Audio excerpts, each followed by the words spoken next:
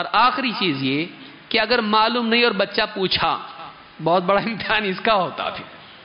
गलत गलत सवाल पूछता नहीं। मेरा इम्तहान लेता तो इतना बड़ा हुआ, नहीं। बल्कि ये भी हौसला और ये भी सिखाने की एक चीज़ है कि नहीं मालूम तो नहीं मालूम बोलना। शर्माना नहीं उसमें।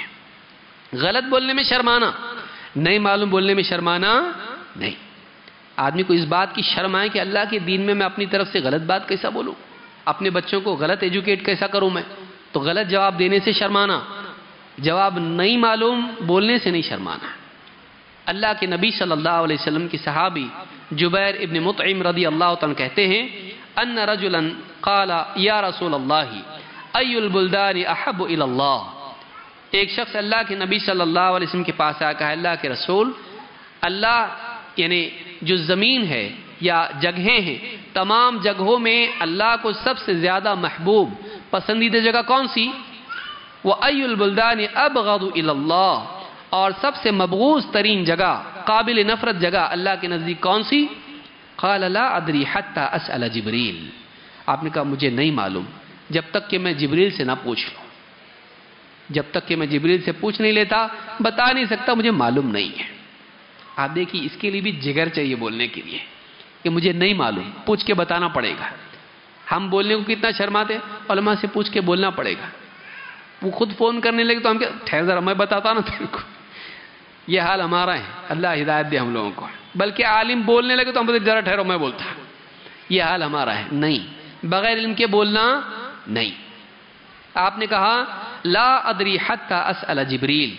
मैं नहीं जानता, यहाँ तक कि मैं जबरील से पूछ लूँ। फ़अता हो फिर जबरील आपके पास आए।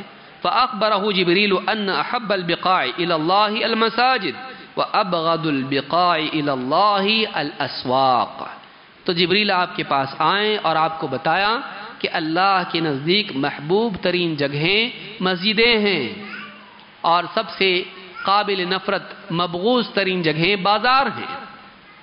मस्जिद ज़रिया अल्लाह की याद का आखरत की तैयारी का, आखरत की याद का, अल्लाह की इबादत करने का, दीनी हलकों का कुरान के सीखने का, सिखाने का, दीनी दुरूस का, वो मकाम है, वो जगह है।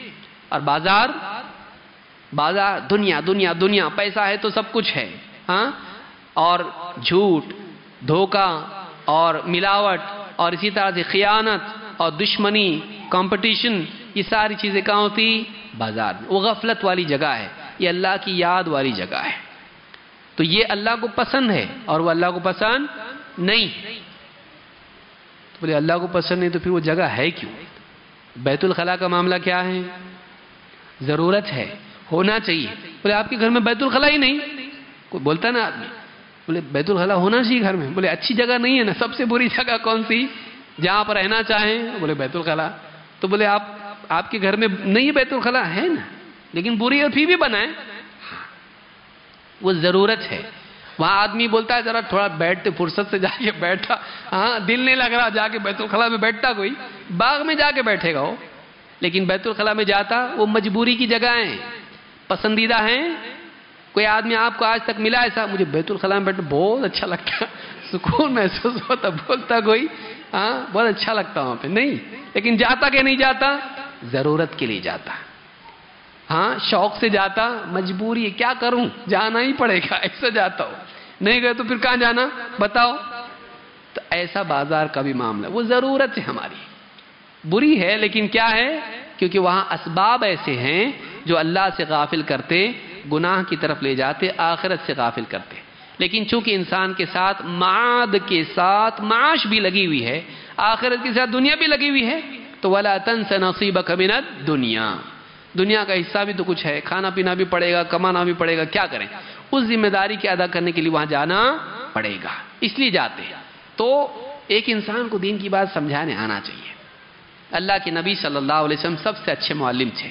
आपसे बढ़ के और कौन है जिसने दीन समझाया, सिखाया? इसीलिए अल्लाह रब्बुल आलमीन ने आपको, आपकी तारीफ़ की और अहले ईमान पर एहसान जताया। लकद मन अल्लाह अलमिन कि आपकी तालीम की बिना पर अल्लाह ने अहल ईमान पर एहसान जताया कि अल्लाह ने बहुत बड़ा एहसान किया, ऐसा नबी भेजकर जो इन्हें दीन की बातें सिखाता है। हम भी नबुई इल्म से, उस नूर से कुछ हिस्सा लें और सारी दुनिया में और सबसे पहले किधर? अपने घर में, अपनी औलाद को दीन सिखाएँ। अगर हमारी औलाद दीन सीख ले, हमारे लिए आखिरत का बहुत बड़ा ज़ख़ीरा है। अल्लाह ताला हम सबको इसकी तोफ़ी अदा फरमाएँ। और दीन के सीखने और सिखाने की हम सबको तोफ़ी अदा फरमाएँ। अपने घरों के माहौल की फ़िक्र करने की तोफ़ी अदा फरमाएँ। घरों को अच्छा रंग रोगन करना, छत अच्छी कालीन अच्छा पंखे एसी रेफ्रिजरेटर सब चीज़, घर का माहौल दीन का होना चाहिए। घर के बच्चे, बड़े सब दीनदार होने चाहिए। घर में दीन की बात हो, दीन की बात सुनी जाए, इबादात हो, दीनी माहौल बने, दीन की बुनियाद पर इनक्रेजमेंट एक दूसरे का हो, ये माहौल बनाना ज़रूरी है। अल्लाह ताला हम सबको इसकी तौफीक अदा फरमाएँ।